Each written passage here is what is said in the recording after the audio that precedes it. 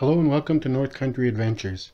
Today I wanted to do a quick overview of the HQ issue camp barrel stove. This stove measures 18 and a half by 10 and 5 eighths inches. Uh, that, those are the outside dimensions. The door is 7 inches by 7 inches.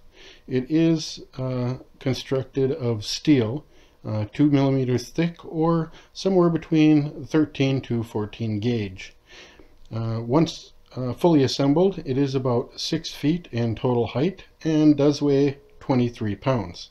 Does have a front air vent to control burn on the front, uh, folding carry handles on the top, and a cook grate that folds out to allow drying socks, gloves, etc. And here you can see is the latch for opening and closing. And here is how you control the vent for uh, letting more or less air in. From what I understand, you pretty much want to leave these all the way open because the stove piping is um, quite small and um, in order to have an efficient burn, you basically need to leave this all the way open, which is fine with me. Um, here is how you deploy the carry handles and then you're able to just lift it right up and carry it and if you move those out of the way, you have the cook grate here, which you can also move to the sides. And here is where you can hang socks, hat, gloves, whatever you may need to dry out. And they can dry hanging here along the side. Now these tubes here are billed as um, cooking tubes. Uh, I believe they mention, you know, putting, um, you know, potatoes or vegetables or something in tinfoil and putting them in here.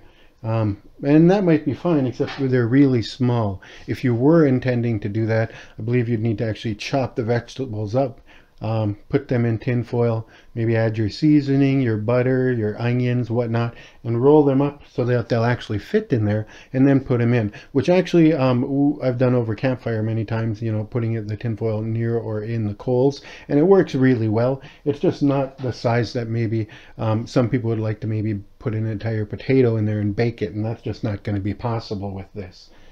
So um, yeah, let's go ahead and um, get a shot of, um, I'll show you a quick photo here of everything nested inside. And then um, we will move on to all the components here out on the table so you can get a better look.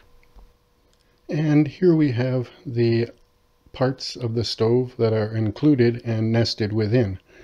Here we have the uh, ash scraper which you would use to pull the ash forward towards the door so that you can remove it. Here we have the uh, poker, which is used to uh, move the wood around as it's burning to uh, uh increase airflow. And it can also be used here to open the latch on the uh, door and to regulate the airflow uh, when they're hot. You can use that to turn either one of them. Here we have the legs for the stove, which attach via these wing nuts, and they attach right here, of course. Um, because the hole is about an inch down, you do have about an inch play up or down, uh, meaning that if you are on um, uneven ground, you can sort of adjust that. Here we have the base of the stovepipe, and that is attached to the stove through uh, these here four nuts and bolts that are also included. In the back here we have the uh, stovepipe cap to prevent rain from falling down into the stove. And then we have the three sections of stove piping. Um, I believe that uh, everything put together is just about six feet in height. But I'm going to go ahead and do that now and I will be back to show you uh, how it looks completely assembled.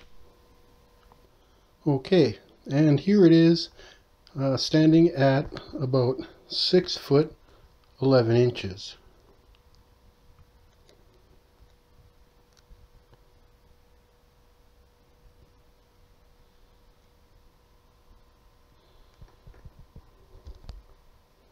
So yeah, overall, I think this is a pretty decent uh, little stove. Um, I did uh, pick this up on Amazon and it was only $69.99 with free shipping. Uh, I can't really complain about that. that that's a great price. Um, a, a, couple of things that are cons for me is that it didn't come with a grate on the inside bottom to allow airflow underneath the, the wood and um, also to um, slow any degradation of the, the bottom of the stove itself over time from the, the high heats. Um, also, the pipe diameter is, uh, from what I understand, and, and it does stand to reason, too small for really good airflow. So you basically, as I mentioned earlier, have to leave the uh, vent wide open. So it would have been nice if they had gone a little bigger with that as well. Um, I did notice during assembly that um, there are little burrs sort of on the inside of the holes where, where you slide the legs into. So that can be tough to actually get the legs pushed all the way in. Um, because they are adjustable, I guess, you know, um, in some situations you wouldn't have them all the way in anyway. I do like the fact that it, you know, it um, at the height, uh, it, the cooking surface is, it is high enough um, uh, where you don't have to bend over to to reach anything. I guess if you were, um, you know, I'm only five six, uh, so if you were six foot, maybe you'd have to bend over a little bit. But um, you know, put a couple of flat block or bricks underneath each one under each foot, and that would bring it up uh, considerably for you. Also, I like the idea that the legs actually have a, a rounded hard plastic or rubberized uh, bottom um, for the feet, which would uh, prevent it from punching through any tarp you may have in your tent or whatnot. Now, as you can see by looking at it, probably, I have not had a chance to use this yet. Um, I do hope to one day um, acquire a range or a spike tent, sort of like this.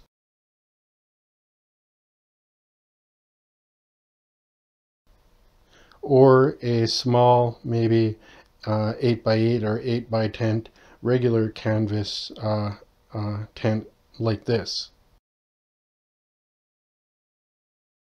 I will be making another video here in the future when I when I get a chance um, of the first burn, which of course I'm going to do outdoors, and um, see if any paint or whatnot, any anything toxic, you know, get needs to be burnt off.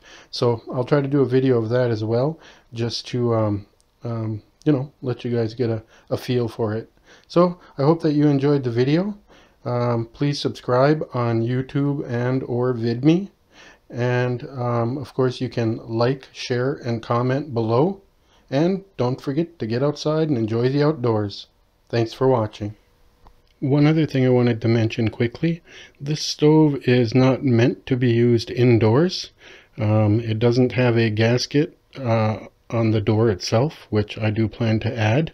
Um, it is made to be used outdoors or within a tent, um, some well ventilated area. Thanks again.